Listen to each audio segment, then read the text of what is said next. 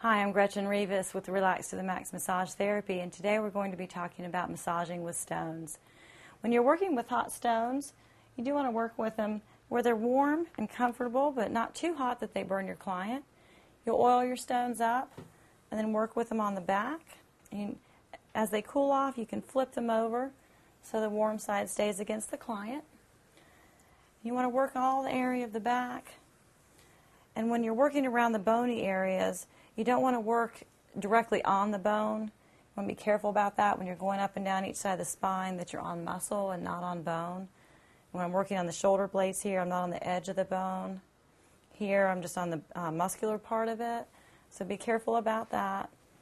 You can go across and back and forth like this if you wish. And you can use the hot stones on any part of the body where it's muscular and not too bony. And this is really good for relaxing the muscle tissue at a deeper level. And it feels nice, especially when it's colder outside and people are stiff and achy. The hot stones really help them relax. And it feels really good. And then as the massage, as the stones cool off, you want to switch them out for another warm set and then keep on going.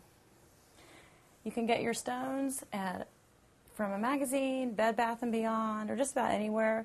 Different stones will do different things and hold the heat in different ways.